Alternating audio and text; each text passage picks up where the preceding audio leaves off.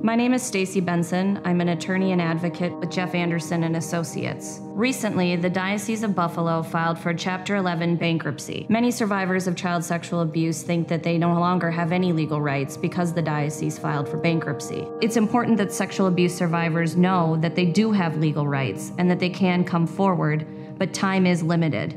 If you are a survivor of child sexual abuse in the Diocese of Buffalo, it's time to know your rights. Contact us confidentially today.